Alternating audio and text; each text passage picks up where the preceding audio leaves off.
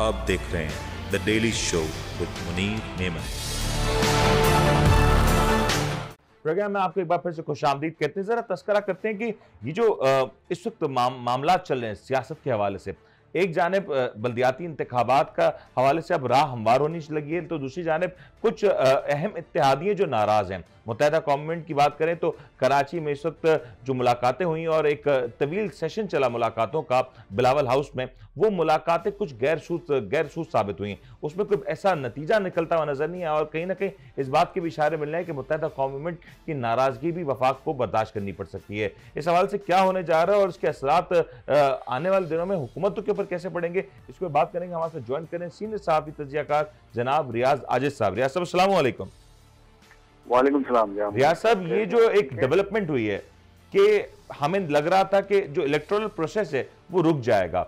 बल्दियाती इंतखाबात के हवाले से उम्मीदें तकरीबन दम तोड़ती हुई नज़र आ रही थी। लेकिन अब ऐसा लग रहा है कि बल्दियाती निज़ाम एक बार फिर से फाल होने जा रहा है। इस्लामाबाद की बात करें कराची हैदराबाद की बात करें ये दो ये तीन ऐसे बड़े शहर हैं जहाँ पे काफ़ी अरसे से बल्दियाती निज़ाम ड्यू रहा।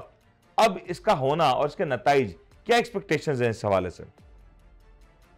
देखिए बल्दियाती इंतबात का जहाँ तक ताल्लुक है ये पाकिस्तान पीपल्स पार्टी हो मुस्लिम लीग नून हो या तहरीक इंसाफ हो ये लोग क्योंकि बड़ी पार्टियाँ हैं मेन स्ट्रीम पार्टियाँ हैं उनके पास अपने अपने सूबों में हुकूमतें भी रही हैं और हैं भी। ये बल्दियाती इंतखाबात के हक में नहीं है पार्टियाँ। अगरचे ये अपने आप को डेमोक्रेटिक पार्टीज़ कहती हैं लेकिन ये नहीं चाहती कि बल्दियाती इंतबात हों या बल्दियात के नाम पे कुछ चीज़ बने। और डिवोल्यूशन ऑफ़ पावर हो। हम्म, ये सख्त तरीन मुखालिफ हैं तीनों जमातें।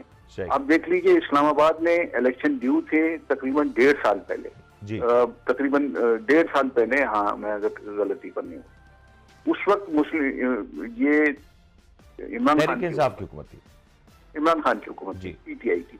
इन्होंने बलदियाती इंतखाबात नहीं होने दिए इस्लामाबाद। के पी के ने कोशिश की आखिरी हद तक पीटीआई ने कि बल्दियाती इंतबात ना हों। हम्म। लेकिन वो सुप्रीम कोर्ट की वजह से यानी अदालतों के इंटरफेरेंस की वजह से वो कराने पड़ते हैं इनको। सही। तो बल्दियाती इंतबात इन मेन स्ट्रीम पार्टियों की मजबूरी है कि वो अगर किसी बड़े उनके ऊपर जब तक प्रेशर नहीं हो अदालत का या एस्टेब्लिशमेंट का तब तक वो नहीं कराते। हम्म। ये इनकी एक रिवायत है। अच्छा अब आ जाइए नू- दूसरी जमातों की छोटी जमातें जो चाहती हैं कि बल्दियात में अपना हिस्सा डालें। और वो वहाँ पे जाके अपना रोल अदा करें और उनको कुछ ना कुछ हुकूमत में हिस्सा मिले। बिल्कुल वो इस पोजीशन में नहीं है कि वो ले सकें। तो ये मसाइल इस वजह से इनके साथ क्रिएट होते हैं और बलदियाती इंतबात कोई बहुत बड़ी तब्दीली नहीं ला सकते। हम्म। इसलिए कि वो तो निचली सतह के काम होते हैं लेकिन सारा पैसा वहाँ इस्तेमाल होता है। सही। तो जो M N M P A को अपने पैसा देना होता है वो फिर आपको बलदियाती इदारों को देना पड़ता है। और उनके नुमाइंदों को देना पड़ता है। ये नहीं चाहते ये लोग। लेकिन रियासत कलामी की माजत। आपने कहा कि डिविजन ऑफ़ पावर बड़ी सियासी जमातें नहीं चाहती। लेकिन ये जो छोटी सियासी जमातें हैं या मैं कहूँ कि इलाकाई सियासी जमातें हैं या शहरों या सूबों के हद तक जो सियासी जमातें हैं वो इन्हीं सियासी जमातों को सपोर्ट करती आई हैं। मुतहदा कौमी मूवमेंट की बात कर लेते हैं। इस वक्त मुतहदा कौमी मूवमेंट एक वक्त में कराची की बहुत बड़ी जमात समझी जाती थी। आज भी इसमें एक मेजर स्टेक होल्डर हो सकती है। अ, लेकिन इंतखाबी अमल नहीं होगा तो फिर ये कैसे साबित होगा कि किस शहर के ऊपर किस सियासी जमात की हुक्मरानी है? कौन सा मेयर किस शहर का ज़्यादा मकबूल है? ये तो होना ज़रूरी है। नहीं होना ज़रूरी है और अंतिम की ख्वाहिश भी है कि वो उनको कम से कम कहीं ना कहीं हिस्सा मिले तो बल्दियात में तो हिस्सा मिल जाए। हम्म। और उन जैसी और दूसरी पार्टियों की ये ख्वाहिश जमात इस्लामी की बहुत बड़ी ख्वाहिश है बिल्कुल। कि उनको बल्दियात में हिस्सा मिल जाए। लेकिन जो मेन स्ट्रीम पार्टियाँ होती हैं पूरे मुल्क की मैं बात कर रहा हूँ वो नहीं चाहती कि बल्दियाती इंतखाबात हों। और दूसरी बात ये कि अगर हों तो फिर उन्हीं के लोग जो हैं वो मुंतखब हैं हम्म। अब पाकिस्तान पीपल्स पार्टी कराची पर एक तवील अरसे से नज़र गाड़ के बैठी है और वो कोशिश कर रही है कि कराची का सारा निज़ाम उसके इख्तियार में आ जाए। अभी दो तीन दिन से आप देख रहे हैं बड़ा हॉट हुआ हुआ है कराची। और इन्होंने हुकूमत से निकलने की बात भी कर दी एनकेएम ने। जी। लेकिन उसके बावजूद उन्होंने सारा उन्होंने कहा कि आप जो कहते हैं डी लिमिटेशन जिस तरीके से आप कहते हैं हम करने के लिए तैयार हैं। हम्म। ये कौन कह रहा है? पीपल्स पार्टी सही। लेकिन वो कर नहीं रहे।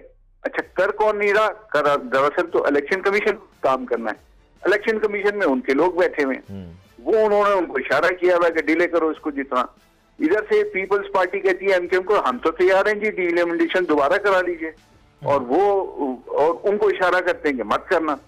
तो वो नहीं होता आपको पता है इदारे इसी तरीके से कंट्रोल होते हैं पाकिस्तान में।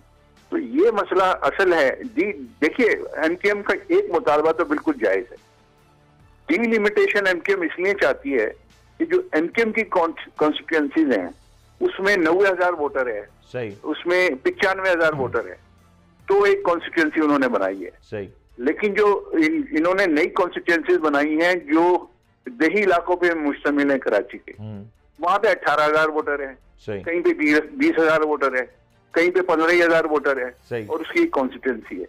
अब एक एक जो कैंडिडेट है वो नब्बे हज़ार की कॉन्स्टिट्यूंसी से मुंतखब होके आ रहा है। दूसरा कैंडिडेट अठारह हज़ार की कॉन्स्टिट्यूंसी से मुंतखब होके आ रहा है। तो ये बड़ा जुल्म है ना? बिल्कुल ठीक। कि आप आ, मतलब उन तीन कॉन्स्टिट्यूंसीज को मिलाओगे तो लेकिन साहब आप बात बिल्कुल दुरुस्त करें। मुतहदा गवर्नमेंट का मुतालबा भी सही है। और यही बेस भी मुतहदा गवर्नमेंट रखी अपने वोटर्स और कारकुनों के सामने कि हम इस हुकूमत में शामिल इसलिए हो रहे हैं कि हमें अवामी मफाद ज़्यादा अज़ीज़ है। लेकिन नौ माह नहीं तक हमारी मफाद मुनीर देखिए मसला ये है एमकिम का कि वो अपनी मर्ज़ी से फैसले नहीं कर सकती। उनको उनको बनाया ही मतलब- इसीलिए गया था माजी में अगर मैं जाऊँ उनको बनाया ही इसीलिए गया था कि किसी को डिस्टर्ब करना है किसी को हटाना है हुकूमतें बन रही हैं तो उसको उसमें अपना हिस्सा डालना है फिर अपना हिस्सा वापस ले लेना है। ये उन्होंने माजी में भी किया है। वो अपनी मर्ज़ी से फैसले नहीं कर पाते हैं भाई वो अपनी मर्ज़ी से फैसले नहीं कर सकते। लेकिन कौन- मतलब मैं- आप मुझे बताइए। अब आप अब आप मुझे बताइए एक सादा सा सवाल है। कि कामरान टिशोरी को गवर्नर सिंध अचानक ऊपर से अमरेला से छतरी से गिरा आसमान से गिरा कहाँ से गिरा गवर्नर हाउस में डायरेक्ट आके बैठ गया। हम्म, एक शख्स जो पार्टी में भी नहीं था। हाँ। पार्टी ने उसको सस्पेंड किया हुआ था। और उसकी वजह से फारूक सिद्धारा और वो लड़े बैठे थे लेकिन उसके बावजूद वो अचानक तो इसका मतलब ये है कि एमसीएम के फैसले या एमकेएम की जो जितने भी वो, जो मामलात होते हैं उसका हतवी फैसला कहीं और होता है। तो इसकी पॉलिटिकल कॉस्ट भी तो बर्दाश्त की ना एमकेएम ने। हमने देखा ना कि एमकेएम की मकबूलियत में कमी वाजे वाजे तौर पर कमी है देखी गई। नहीं वो सही है। एमकेएम को इसकी बिल्कुल पॉलिटिकल कॉस्ट तो उन्होंने बर्दाश्त किया देखिए अल्ताफ हुसैन को उन्होंने उठा के बाहर फेंक दिया। अब उसकी वजह से सारा वोट तो अल्ताफ हुसैन वोट बैंक तो अल्ताफ हुसैन का है। हम्म। अब ये कोशिश कर रहे हैं जो गैर मुसद्दका इतलात हैं गैर मुसद्दका कह रहा हूँ मैं हाँ। कि अल्ताफ हुसैन से किसी तरीके से ऐसा कोई अ, कोई ऐसी सेटिंग हो जाए कि अल्ताफ हुसैन कहे कि जी मेरा हाथ है आपके ऊपर मैं मैं मैं आपके साथ खामोश हिमायत है मेरी खामोश हिमायत है मेरी आपके साथ। हम्म। अब वो खामोश हिमायत का एक मैसेज अल्ताफ हुसैन के जब वोटर को जाएगा तो फिर ये मज़बूत होंगे ऑटोमेटिकली हम्म। असल गेम ये करने जा रहे हैं जो मैं फिर कह रहा हूँ कि गैर मुसद्दका है इसमें इसमें क्योंकि कुछ इस्टेब्लिशमेंट के हलकों में ये वहाँ पे बात मौजूद है और उसी की मुखालफत भी मौजूद है इस्टेब्लिशमेंट के हलकों में। तो दोनों बातें हैं वो कौन सा प्लान होता है प्लान ए होता है बी होता है मुझे नहीं पता। लेकिन ये चीज़ें तो मौजूद हैं। हम्म। वो वो चाहते हैं अब वो खुद चाहते हैं। देखिए उन्होंने वीक किया एमकेएम को खुद। अब वो एमकेएम को खुद एक ताकतवर दोबारा से जमात बनाना चाहते हैं। वो नहीं चाहते कि पाकिस्तान पीपल्स पार्टी का कंट्रोल हो कराची और हैदराबाद पर। हम्म। वही कुतें नहीं चाहती। तो वो इनको दोबारा मज़बूत करेंगे और वो कोशिशें कर रहे हैं इस सिलसिले में। लेकिन रियासत मुझे ये बताएँ, अभी एक और ड्रामाई मोड़ नज़र आया। मुत्तहदा गवर्नमेंट के कुछ धड़े बने। मुस्तफ़ा कमाल साहब ने अपनी एक पार्टी बनाई और बड़ी, उन्होंने दबंग अंदाज में इसका ऐलान भी किया और जो प्रेस कॉन्फ्रेंसेस की और लगातार हम देखते थे, रोज मीडिया पे आके घंटों उन्होंने मुत्तहदा कौम मूवमेंट और उनके जो लीडरशिप के हवाले से जो बातें की। आज अगर ये सवाल मैं सोचूं भी, तस्वुर भी करूँ कि ये जो दो या तीन जो मुख्तलिफ़ जो सेगमेंट्स बने मुतहदा गवर्नमेंट की ये एक हो जाए एक यूनिट हो जाए तो ये कुछ अजीब सा महसूस नहीं होता? बिल्कुल ये बात सही है आपकी इसलिए कि ये सारी सूरत हाल कराची के लिए तो बनाई जाती है ना जो हालात हैं कराची के इस, इस तरह बनाए जाते हैं। अब पहले कोई और लाडला था उस इस्टेब्लिशमेंट का या उन ताकतवर हलकों का वो उसको ताकतवर बनाने के लिए एमकेएम को कमज़ोर किया गया। सही। अब जब देखा कि उस लाडले ने उन्हीं को और ज़्यादा नुकसान पहुँचाया, इनके एजेंडे को नुकसान पहुँचाया तो अब उसको कमज़ोर करने के लिए दोबारा से एमकेएम को ताकतवर बना रहे हैं। अब आप सोचिए कि मुस्तफ़ा कमाल जिसका आपने खुद ज़िक्र किया कि दबंग अंदाज से आए थे और शोर मचाया था और रोए भी थे प्रेस कॉन्फ्रेंस में और अल्ताफ हुसैन को सब कुछ कहा, अब वो उसी कैंप में दोबारा बैठने के लिए तैयार हो गए, सिर्फ़ एक इशारे पे, एक कॉल पर।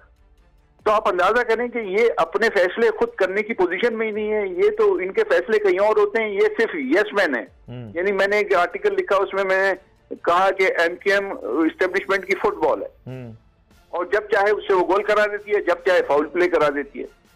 तो ये उनके बिल्कुल तो रियाज साहब अगर मैं एक बात समझूं अब मैं तस्वुरात के ऊपर बात करूँ मफरूजे के ऊपर बात कर लेता हूँ कि मुतहदा के जो तमाम धड़े मुतहद भी हो जाते हैं और इसके बाद जो बल्दियाती निज़ाम के हवाले से जो मुतहदा की डिमांड्स हैं वो पूरी नहीं होती और बल्दियाती इंतबात हो जाते हैं। क्या एम क्यू एम पाकिस्तान बहसित जमात क्या हुकूमत से अलहदा होती हुई नज़र आ रही है आपको? अ, माजी में हुकूमतों में रहना और हुकूमतों से अलहदगी मुतहदा कौमेंट के लिए कोई नई बात नहीं है। इस बार भी होता हुआ नज़र आ रहा है आपको? नहीं एमके हुकूमत से सिर्फ़ नारे तो लगाएगी धमकियाँ तो देगी लेकिन हुकूमत से अलहदा नहीं होगी इसलिए कि जो एमकेएम के पीछे बैठे लोग हैं वो इस वक्त चाहते हैं कि कोई ऐसी डिस्टरबेंस पैदा ना हो मुल्क में। हम्म, अगर वो हट जाती है तो हुकूमत खत्म हो जाएगी। सही। और वो हुकूमत को चलाना चाहते हैं आप देख लीजिए पंजाब में क्या हो रहा है। पंजाब हुकूमत को उन्होंने किस तरीके से टॉपल करने की कोशिश की हम्म। खत्म करने की कोशिश की और उसके बाद जो सब कुछ आईनी तरीके से हो रहा है। लेकिन आईनी तरीके से भी खेल खेले खेलने वाले खेलते हैं अपनी ताकत को इस्तेमाल करते हैं। तो मैं तो इसका अगर सा, सादा सादा मतलब ये समझूं कि अगर ये वाला मामला नहीं है कि हुकूमत से अलहदा नहीं हो रहे तो कहीं ना कहीं अपने वोटर को इस बात को लेके इंगेज कर रहे हैं कि देखें हम अगर मुतहद हो जाएँ तो हमारी कुवत बढ़ सकती है हम हुकूमत को भी टफ टाइम दे सकते हैं हम हुकूमत को भी धमकी लगा सकते हैं। क्या ये जो इतिहाद हो रहा है इत्तेहाद के लिए भी सब हो रहा है? देखिए मुनीर ये बिल्कुल तयशुदा बात है कि अगर ये मुतहद होते हैं तो उससे फ़र्क तो पड़ेगा। हाँ। अब दूसरा इसका पहलू यह है कि जब तक अल्ताफ हुसैन उसके ऊपर हाथ नहीं रखें या हिमा, खामोश हिमायत का ऐलान ना करें उस वक्त तक कोई बहुत बड़ा फ़र्क नहीं तो उसके पड़ेगा। बाद ये राह भी तो हमवार हो सकती है ना कि अगर ये जो मुख्तलिफ़ धड़े हैं पहले हो जाए। कर चुके जी। जी जी जी रियाज साहब।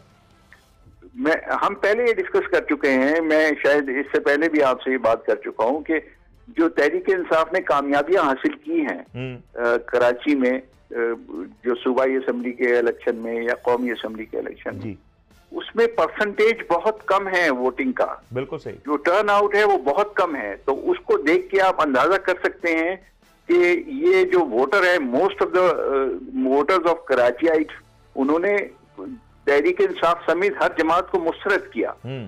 सिर्फ़ दस परसेंट पंद्रह परसेंट वोट इसमें भी कोई शक नहीं है कि बहुत सारे लोग तहरीक इंसाफ की तरफ़ टिल्ट हुए हैं जो माजी में एमकेएम को वोट देते रहे। लेकिन बहुत सारे लोग जमात इस्लामी की तरफ़ भी टिल्ट हुए बिल्कुल सही। अगर इन दोनों का परसेंटेज मिलाया तब भी इतना परसेंटेज वोटर्स का नहीं बनता जो माजी में 50 परसेंट सिक्सटी परसेंट बाद है एक एक घंटे में एक एक लाख सवा सवा लाख वोट काउंटिंग होकर नतज भी आ जाया करते थे। वो तो माजी में तो फिर बहुत कुछ हुआ। नहीं माजी में हुआ लेकिन सपोर्ट मौजूद थी ना। अब वो सपोर्टर जो है जो वोटर है वो खामोश हो गया। वो हाँ। वो वो किसी को भी वोट नहीं दे रहा। सही। अब अगर उनको ये पता चल जाए खामोश हिमायत कर रहे हैं अल्ताफ हुसैन साहब तो शायद वो निकल के बाहर आए तो फिर ये डैमेज होंगे। फिर डैमेज होगा। अगर होता है तो उतना ज़्यादा इफ़ेक्टिव नहीं होगा अंटिल लंदन की भी वहाँ से हिमायत हो जाए। बिल्कुल अगर लंदन की हिमायत आ गई तो फिर और खामोश हिमायत भी हो सकती है। उसके दस तरीके हैं मौजूद। हाँ। कोई कोई इतना बड़ा मसला नहीं है कि अल्ताफ हुसैन बरह रास्त ये खिताब करें कराची में। वो दस तरीके हो सकते हैं और वो उस पर बात हो रही है। इसलिए कि मेरी इतलात यह है कि लंदन में भी आपने बड़ी ब्रेकिंग न्यूज़ दी है साहब। मैं लन, मैं आपको ये ज़िम्मेदारी से कह रहा हूँ कि मैं नाम नहीं ले रहा लेकिन लंदन में अल्ताफ हुसैन से दो सियासी रहनुमाओं ने मुलाकातें की हैं और ये बातें उस वहाँ पे तय हुई हैं। और वो सियासी रहनुमा गालिबन मुत्तहदा की ही जमात के हैं? नहीं वो वो वो बड़ी जमातों के मेन स्ट्रीम जमातों के रहनुमा हैं जिन्होंने मुलाकातें की हैं। ठीक हो गया रियाज साहब आपने इसलिए की है कि वो मेन स्ट्रीम पॉलिटिक्स में उनको वापस लाया जाए।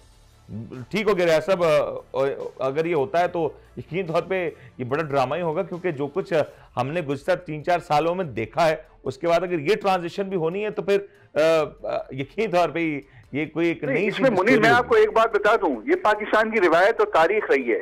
पाकिस्तान की तारीख ये है कि माजी में भी पाकिस्तान को गालियाँ देने वाले पाकिस्तान पे दूसरे ममालिक से चढ़ाई की दावत देने वाले दूसरे ममालिक की फौजों को वो पाकिस्तान पे चढ़ाई की दावत देते रहे और उनको फिर माफ़ कर दिया गया और उनको फिर ये भी कहा गया कि आप ठीक है मेन स्ट्रीम पॉलिटिक्स में आइए और वो आए और वो आज भी मौजूद हैं। सही। तो ये कोई अचंदे की बात नहीं है कि अल्ताफ हुसैन को भी अगर माफ़ कर दिया जाए। ठीक हो गया रियाज साहब आपका मौका आ गया और यकीन तौर पे आपने एक बड़ा इंकशाफ भी किया एक बड़ी खबर भी दी और हमारे नाजीन जो, जो इस खबर को देख रहे होंगे वो भी सोचने में मजबूर होंगे कि पाकिस्तान में आ, सियासत में कुछ भी मुमकिन है कभी भी मुमकिन है। इसके ऊपर मजीद बात करते हैं। प्रोग्राम में वफ़ा ले वक्त हाजिर आप देख रहे हैं The Daily Show with Munir Neiman.